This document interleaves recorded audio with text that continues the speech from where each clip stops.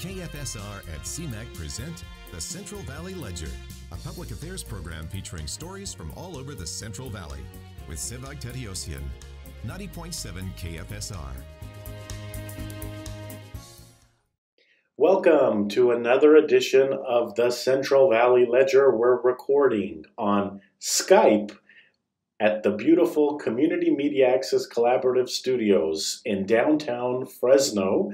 Today we're going to be talking about an upcoming performance in Fresno. This group is very, very popular. They perform around the world, and you might have heard about them. The group is called Cirque du Soleil. We have Johan Juslin in, who's a juggler with the program. Welcome. Thank you. Thank you for having me. So, before we get into eh, did I say that right, by the way? Cirque du Soleil? I've always wanted to practice with someone who knows how to say it. Cir- Cirque du Soleil. I was close. Yeah, it was close. It was close, yeah. Tell us a little bit about yourself. You're a juggler in the show? Yeah, so, uh, yeah, I'm 26 years old. I come from Finland. The way I started juggling was uh, I actually saw Cirque du Soleil on TV when I was 10 years old, so it's 17 years. And uh, the show was just amazing. Uh, I don't know what exactly was, but the, I just got a spark that this is what I want to do with my life. So after the show was done on TV, I went to my backyard with three tennis balls. I started practicing. After one week, I learned juggle with three balls, and then I continue and continue. And now, after 17 years, I'm working with the company who made me start. I love that story because you went to your backyard to practice, and all of a sudden, now you're in the show. Yeah, exactly.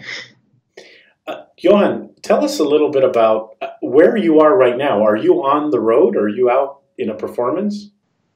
Yeah, right now we are in Charlotte, and uh, we are um for the moment in the arena, like uh, preparing for the for the show that we have tonight, and uh, yeah, just preparing for the shows we're gonna run here right. So you're always at shows, right? I mean, you're performing around around the clock all the time. Uh, kind of yeah, it's uh, five to four to five days a week we perform, and then we have a couple days off when we travel to the next and we're gonna like uh, they take down our stuff from the city next arena and we yeah we have a few days off and then we continue and we do this for a 10 week period and then we have a two uh, two week break so they send us home for a vacation. We come back again after two weeks and continue. 10 weeks and tour two weeks at home 10 weeks and tour and two weeks at home. I want to ask you about how did you feel the first time you were out in stage in front of people ready to juggle the first time yeah I was uh, I was really nervous because I had never done that before, but uh, I was also super excited to go on stage and do it. But uh, yeah, the fe- feeling was between like horrifying and great at the same time. It was like super fun to do it, but at the same time like super you're super nervous. You're gonna you're gonna fail or you're gonna look bad or whatever. But uh, but uh, I really enjoyed it and. Uh, when you came off the stage, it was a great feeling that you want to do it again and then you just keep going and i've been doing the same show for for more than 100 times. So now it feels uh, that i am excited to performance too. So you, you not always know like okay what's going to happen but you always do your best but but no it feels good. Tell us a little bit about why you chose juggling. What was it about juggling i don't know for me uh, maybe i do something with my hands i always been interested in in objects and how everything is manufactured and so on. For example, uh, uh, different kind of plastics. I'm also a carpenter, so I work a lot of, uh, with wood, and I'm always interested uh, how anything goes from scratch to a finished product. Even we talk about chalkboards or pool tables or whatever. Um, I always been interested in different kind of objects, so I think that has something to do with. I want to use my hands for what I do, and and the juggling props looks cool. And when you toss a lot of things in the air, it I don't know, looks good and feels nice to do. What should people expect when they come out? Yeah, so this show is uh, unique compared to the other Cirque du Soleil shows in a way that we have a uh, the when you're in the arena, the stage is in the middle of the floor, and then we have audience on both sides of the stage, and we have two backstage areas, which has an entrance to the stage. So you have two entrances to the stage, which creates many more possibilities with choreographies and like artists coming from both directions and everything uh, everything like that so you can and depending on which side you uh, sit on like watching the show you see it in a different way which also makes it unique that people on on stage right doesn't they don't see the same what people see in uh, on stage left because there's a little bit different angles and everything so it's it's unique in that way plus that usually in Cirque du Soleil performances the uh, artists are more like uh, fantasy kind of characters with crazy, crazy, crazy makeup and crazy costumes and uh, and so. But we are actually normal humans in this show,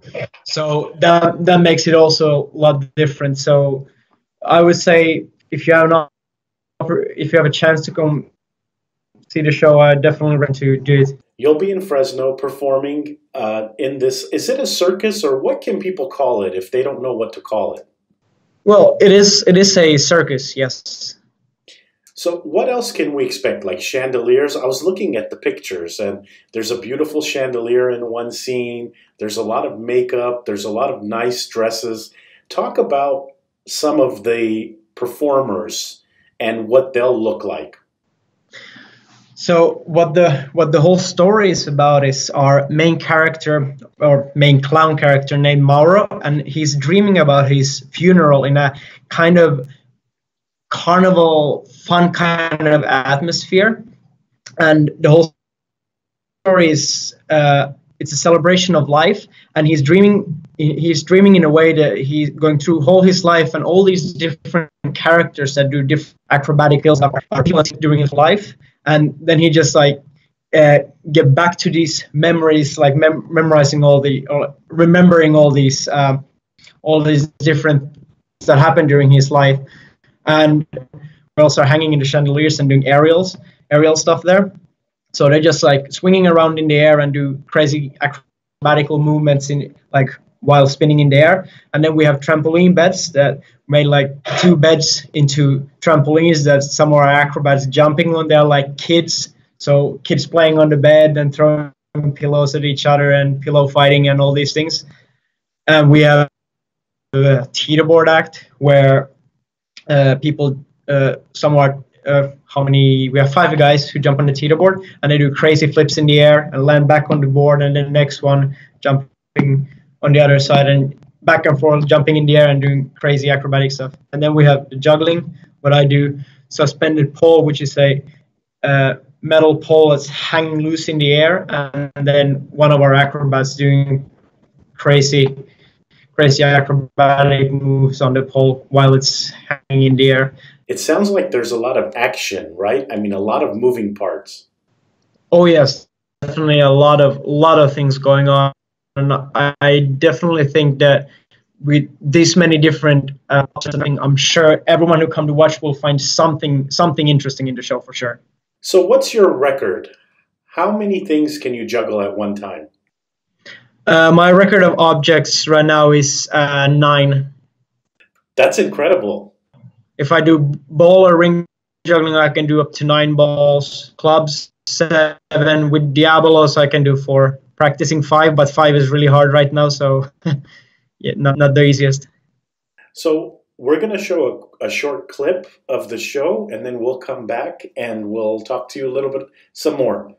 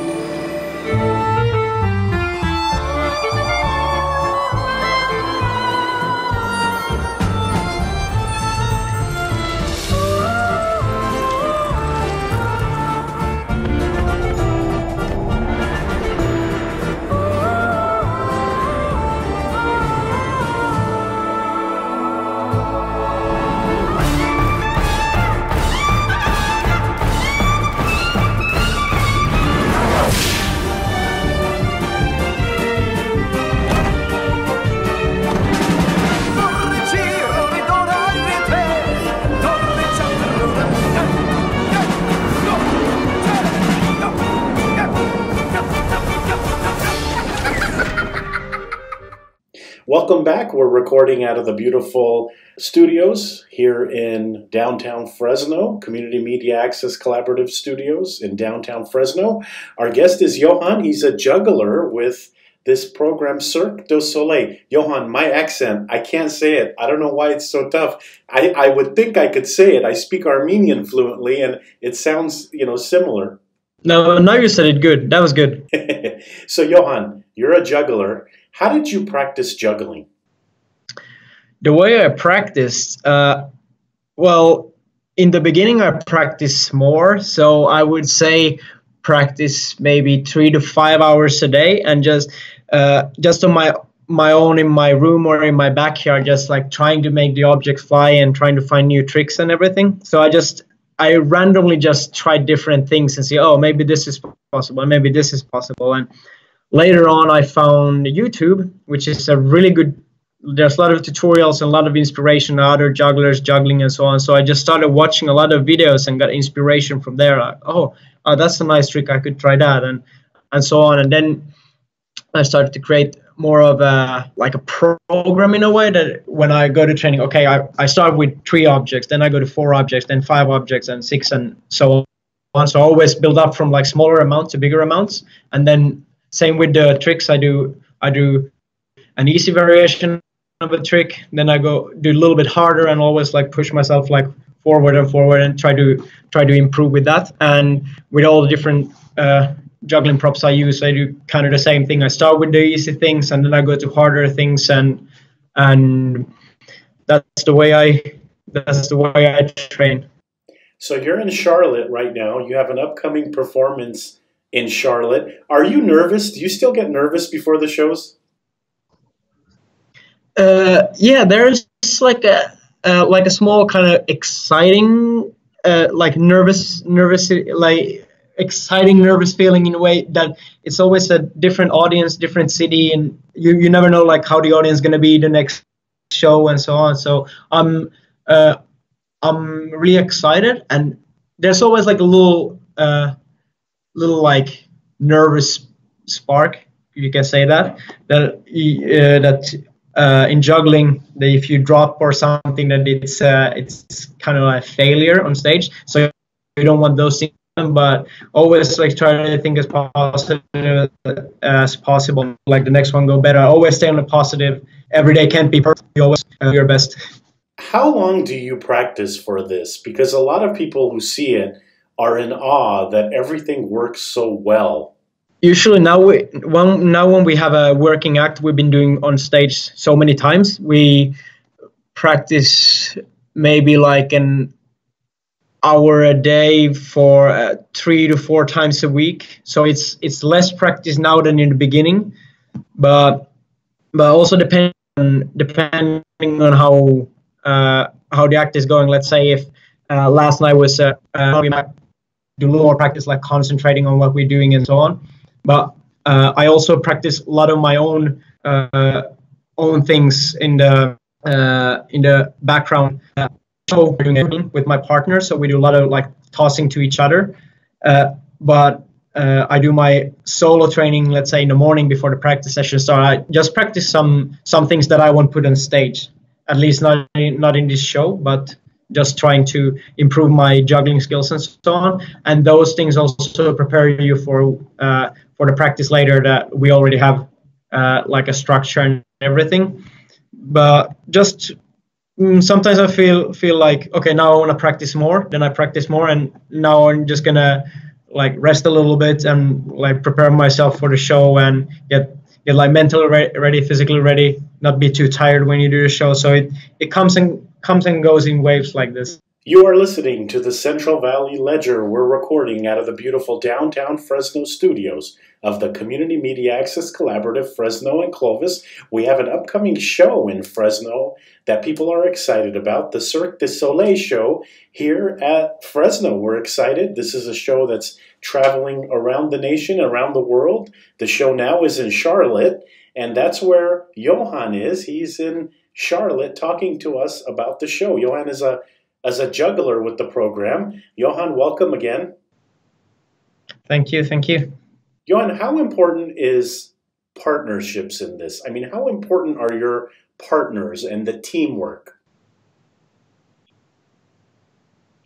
I would say, in general, like with this whole production, that teamwork is very in a way that uh, the stage is always filled with a lot of different characters. Even let's say someone is doing a solo number, there's still characters around constantly doing their own thing and interact with the with the with so part uh, like communication and everything is very important and like you have to trust the other artists and and everyone who's uh, working working there together so, so it's very uh, it's very important that it's working and i've found this like now like everything i have to do and all all my plan do and we all try to do as possible. Like, okay this is a little, a little bit worse tonight than last night but so on. It's really like constant constantly communication between each other and just have to uh, yeah just have to trust each other that like we are doing our job as good as possible. When i've watched the shows they're always perfect. They look good. It looks like there's no mistakes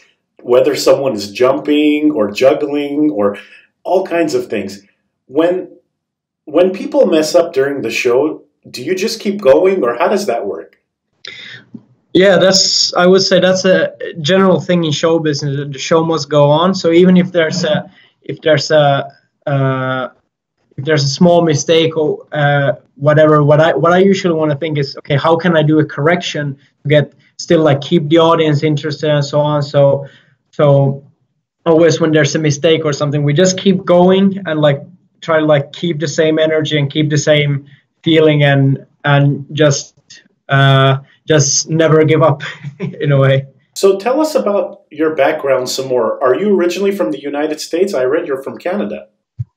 No, uh, I I studied at the National Circus School in Canada, uh, but I am originally from Finland, and that's that's where I permanently live uh, now too. Yeah.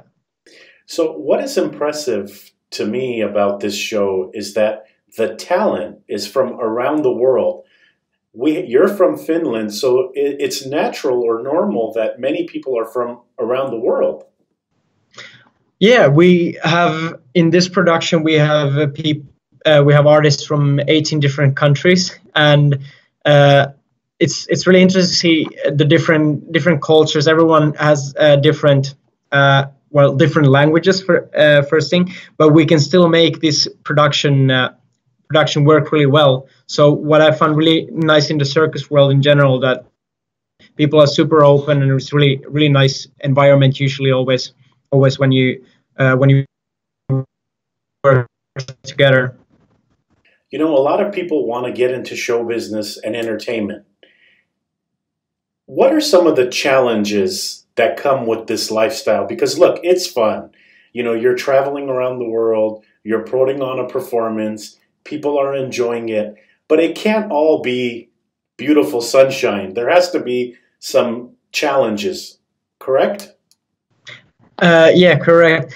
Uh, yeah, show business is uh, it's not the easiest uh, job to do in a way that that um, because there's uh, especially with circus there's not that many work opportunities going on around in the circus like the biggest thing that's happening in the world. So so if there's some some events or something, there's uh, you need like artists for those, but there's not that m- many in general. So there's a lot of artists constantly looking for work, but because all the spots are already taken, so sometimes it's really hard to find a find a job, which uh, which also yeah which create like uh, sometimes uh, harder period.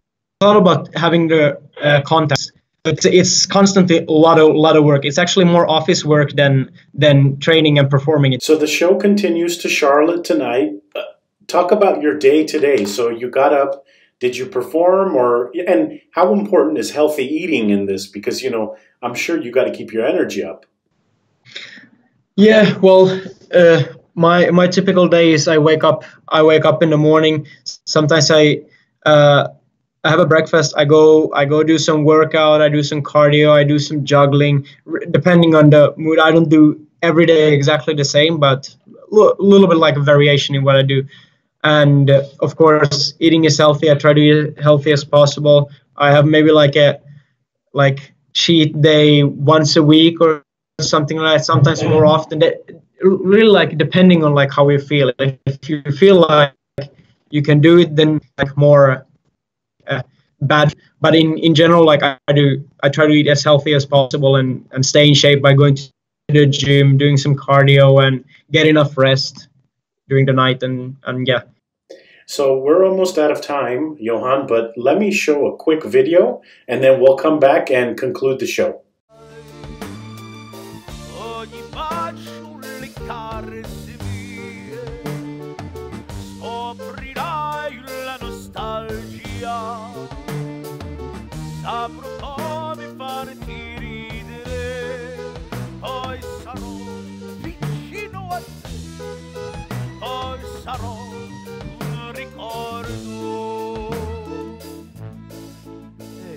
Te Mauro,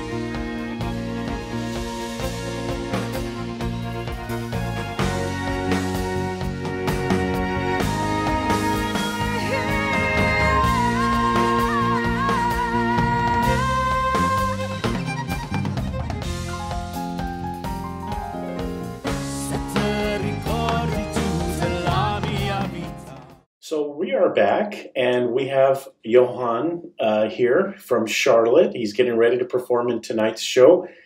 Johan, so tonight's show in Charlotte that you're going to be doing, what are some of the things that is going through your mind right now? How do you mentally prepare for this?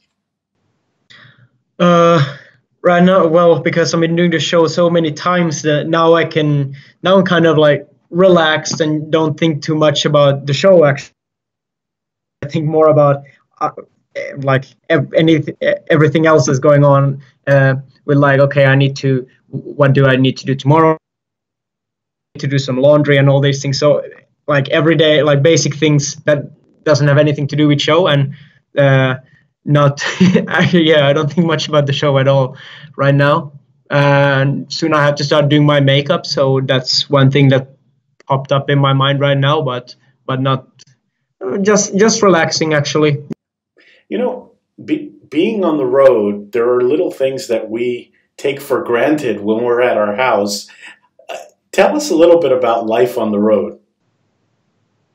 Uh, well yeah at least our production uh, or in Cirque du Soleil in general when there's an arena tour that we uh, we change city once a week. So we perform four or five days, and then we then we transfer to the next city and and have a couple off and do the same over and over again. So it's really it's really interesting in a way to see. Uh, now when we're in North America to see the North American culture, all the different states, all the different cities, how how different they are, and depending on if you're in the south, in the in the west, in the in the east, in the north, or wherever, that it's really interesting to see how how big the world is and how different everything is. Johan, is this a kid friendly show? Like, I have small kids, and sometimes I'm hesitant to take them places. Is this like a child friendly program, or would you recommend adults?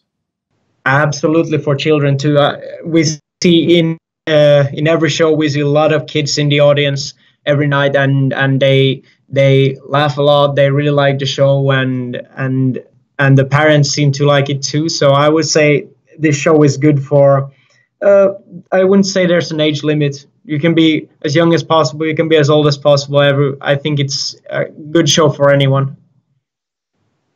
tell us why people should come see the show.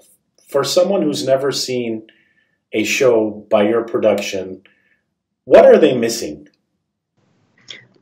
Uh, well, if we talk about uh, Cirque du Soleil, the, the different Cirque du Soleil shows are, or in, in general, like all the uh, shows have uh, fancy costumes and crazy makeup and uh, and they're more like fantasy kind of characters. But our show is uh, unique in a way that we are normal humans who perform in uh, like normal human costumes. And then our the way our stage works is that we have audience on both sides of the stage. So the audience, depending on which side you sit, you will see the show in a different way. And we have two backstage areas with lead to two ramps that goes to the stage.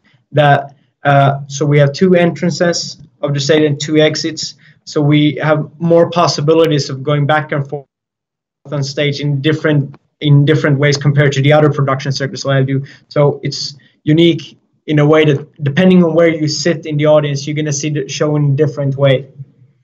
So that that makes it uh, unique. Johan, we're gonna show one more clip, and then we're gonna come back to you, and we will end the show. Poi, aspetta, eh. Aspetta, guarda. Guarda, eh. Guarda, eh. E... Momento. Oh, One finger. Eh? che bellissimo. Vieni qua, opla. Una piccola danza. Eh? Anita il sole di tutti i miei sogni. Sai Yeah. cosa faccio? Again. Ti porto a ballare a Campremoldo. Mauro. Sì. Ah, la la. you can push. Welcome back. We have Johan here from Charlotte, and he is a performer, a juggler with the Cirque du Soleil show. The show is coming to Fresno, folks. The show is coming to Fresno. We're excited because Fresno and other cities around the nation and world love this production. Johan, one last time, why should we come out and see the program? Uh, yeah, the program is really uh, really nice in a way that uh, there's audience on both sides of- of the stage, and we have two ends to the stage, so we have possibilities to go back and forth in very unique ways and everything. And depending on where you sit in the audience, you will see the uh, show from a different point of view than others uh, who are in the audience in, in uh, other places. So I would say that makes it that makes it really unique that, that everyone sees sees a little bit differently.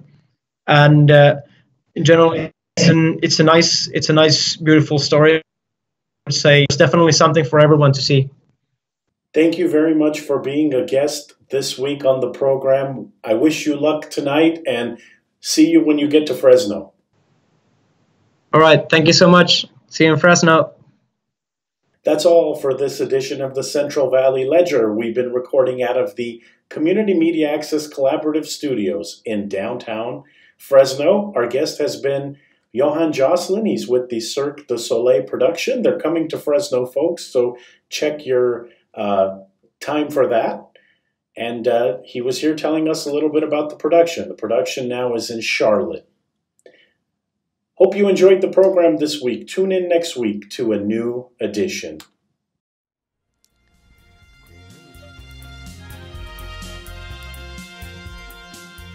KFSR and CMAC present the Central Valley Ledger every Sunday morning at 11:30. For complete program schedule, visit kfsr.org.